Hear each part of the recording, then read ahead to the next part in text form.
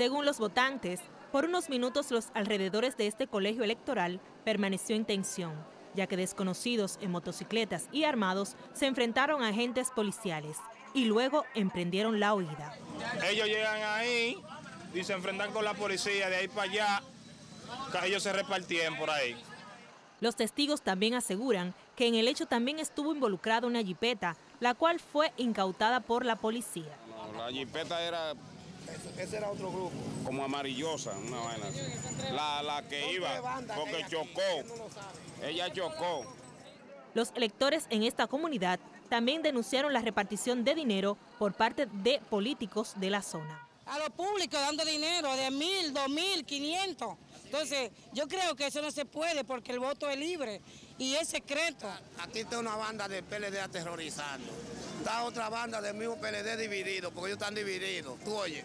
Y también la del síndico, Francisco Fernández, también anda metiendo el terror a la gente.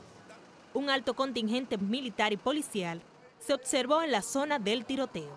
Carla Araujo, Informativos Teleantillas.